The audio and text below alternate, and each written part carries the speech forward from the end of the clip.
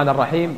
الصلاة والسلام على نبينا محمد على آله وصحبه أجمعين. أما بعد السلام عليكم ورحمة الله وبركاته. إخواني أخواتي الكرام نريد أن نأخذ معكم جولة في هذه المغسلة وفي هذا المكان حتى نتأمل وإياكم حقيقة هذه الدنيا وأننا فيها ضيوف.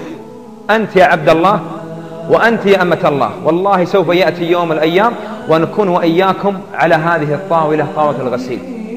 ولما توضع في هذا المكان يا عبد الله وأنت يا أمة الله لا حراك ولا كلمة ثم تجرد من ملابسك.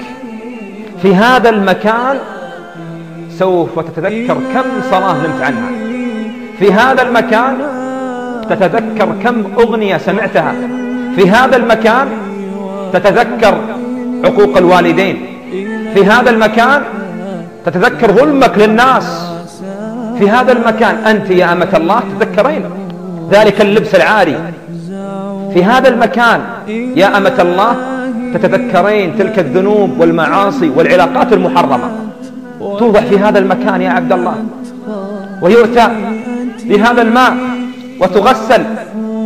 ولا تستطيع أن تتحرك ولا أن تتكلم بكلمة واحدة. الآن أتحدى أي شخص يتجرأ عليك أو يفتح زرار من أزرارك ما تخليه. ولكن والله سوف يأتي يوم من الأيام ويجردونك من ملابسك يا عبد الله. أنا الآن وأنت وأنت في مهلة وفي فرصة قبل أن توضع في هذا المكان. في هذا المكان كم من شخص يقول قدموني قدموني. وكم من جنازة تقول يا ويلها يا ويلها أين تذهبون بها؟ فأنا وأنت كيف يكون حالي وحالك؟ كيف يكون المصير؟ وكيف يكون المآل؟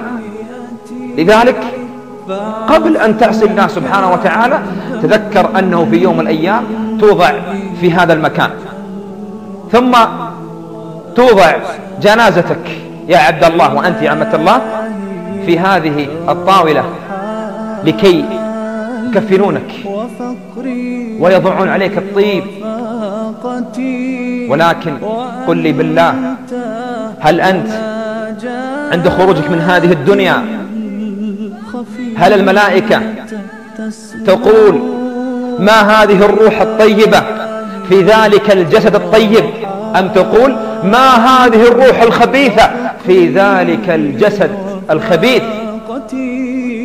يا عبد الله يا أمة الله والله الذي لا إله إلا هو إنها حقيقة غابت عن كثير من الناس. كم من شخص لما يوضع على هذه الطاولة ويكفن يتمنى الرجوع للدنيا.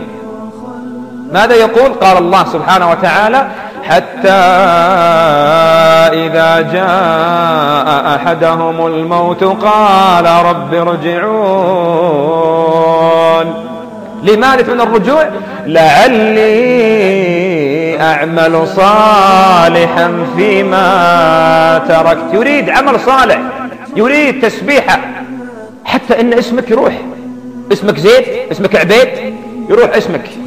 ثم تنادى بالجنازة. هاتوا الجنازة غسلوا الجنازة كفنوا الجنازة صلوا على الجنازة ثم يصلون عليك صلاة لا ركوع فيها ولا سجود. لذلك لابد أن نتأمل. وتأمل معي يا عبد الله وأنت يا أمة الله. قبل أن تلبس هذا الكفن معك فرصة. سوف يأتي يوم الأيام وتلبس هذا الكفن. وأنت يا أمة الله. والله الذي لا إله إلا هو. عند الموت ترى هذا الكفن مع الملائكة. إما أن يكون من أكفان الجنة أو من أكفان النار. وتأمل يا عبد الله حقيقة هذه الدنيا. والله لن تخرج من الدنيا إلا بهذا الكفن وهذا القطن يوضع في أذنيك يا عبد الله.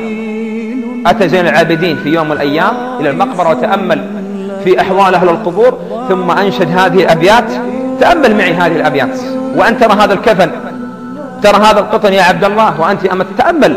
قال تقاسم الأهل مالي بعد من صرفوا وصار وزري على ظهري فأثقلني واستبدلت زوجتي بعلا لها بدلي وحكمته في الأموال والسكن.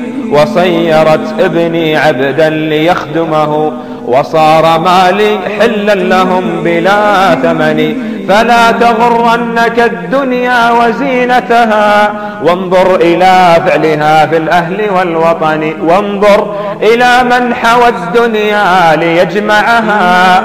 هل راح منها بغير القطن والكفن. وانظر إلى من حوى الدنيا ليجمعها. هل راح منها بغير القطن والكفن. خذ القناعة من دنياك وارض بها. لو لم يكن لك فيها إلا راحة البدن. يا عبد الله لن نخرج من الدنيا إلا بهذا الكفن وهذا القطن يوضع في أذنيك. ولكن يكون معك عملك الصالح. قال صلى الله عليه وسلم يتبع الميت ثلاثة أهله وماله وعمله. يرجع الأهل ويرجع المال ولا يبقى معك إلا العمل يا عبد الله. فما هو عملك؟ ما هو عملك يا عبد الله؟ ثم تحمل أنت يا عبد الله وأنت يا أمة الله على هذا النعش. لما توضع على هذا النعش تقول الجنازة وتتكلم الجنازة إما أن تقول قدموني قدموني وإما أن تقول يا ويلها أين تذهبون بها؟ فكيف يكون حالي وحالك؟ أخي الكريم أختي الكريمة كم حملنا من الناس والله سوف يأتي يوم من الأيام ونحمل. كم غسلنا من أناس؟ سوف يأتي يوم من الأيام ونغسل. كم بكينا على أناس؟ والله سوف يأتي يوم من الأيام ويبكى علينا. وأنا أذكرك يا عبد الله قبل أن تلبس هذا البشت.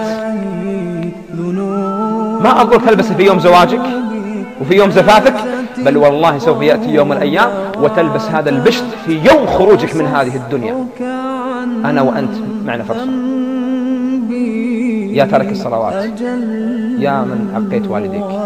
يا من تأكل الربا أضعافا مضاعفة. يا من تسمع الأغاني. يا من تزني. يا من تفعل اللواط. والله أحذرك. معك فرصة الآن. تستطيع أن تتوب. تستطيع أن تستغفر الله سبحانه وتعالى قبل أن تلبس هذا.